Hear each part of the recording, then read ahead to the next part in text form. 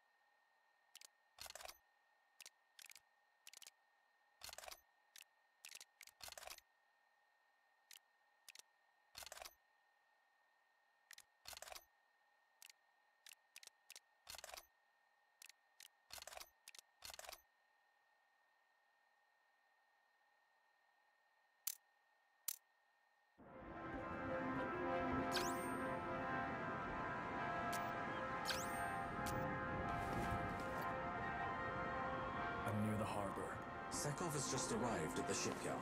His wife is on the move, probably meeting him there. Got it.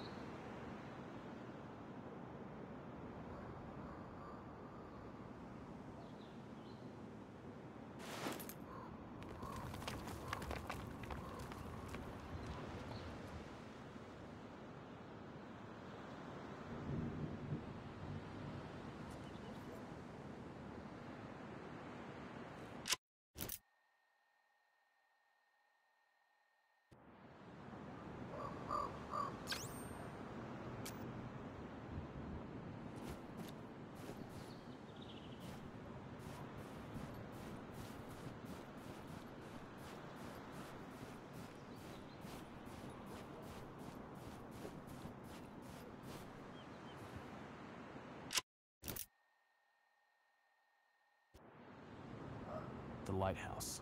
A good spot to camp.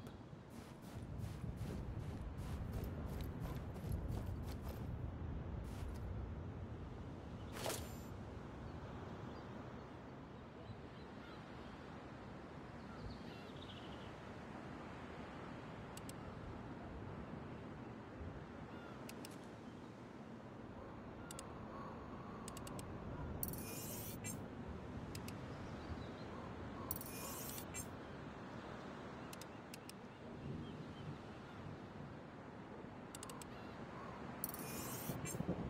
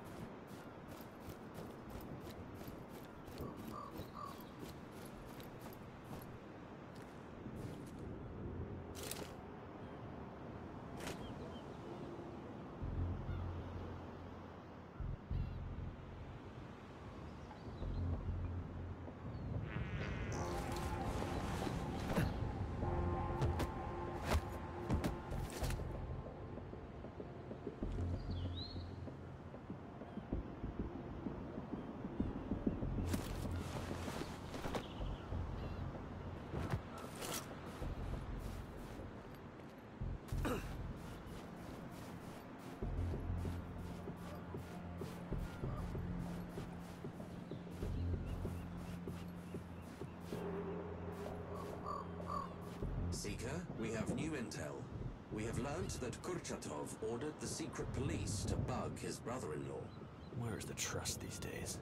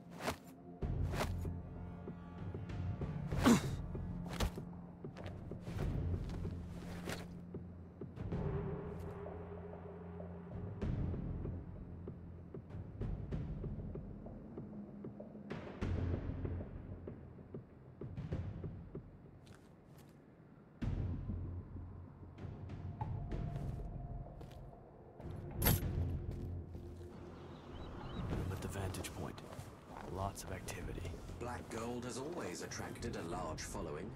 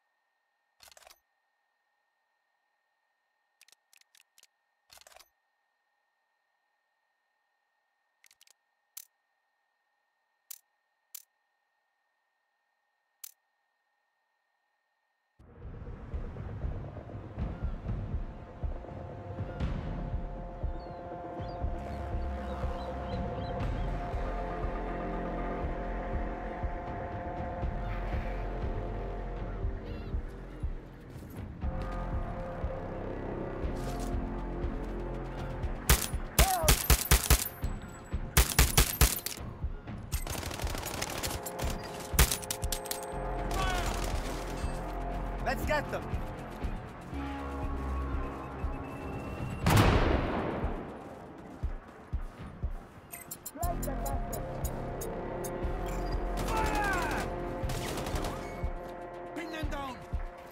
Flank that bastard!